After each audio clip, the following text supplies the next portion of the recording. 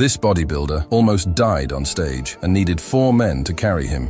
Paul Dillett, the biggest bodybuilder on the stage, standing at 6 feet 2 inches and weighing over 300 pounds in his prime, was referred to as the Monster.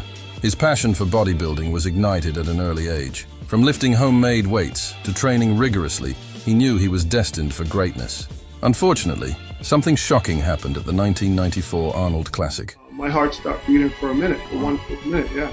I was so dry they couldn't even put the IV needle into my vein. Dillett almost died on stage and needed four men to carry him off. After the incident, Paul continued training and dieting as if nothing happened, albeit with no success. He captivated audiences, but not the judges. His best placing was also the same year at the Olympia, where he finished fourth.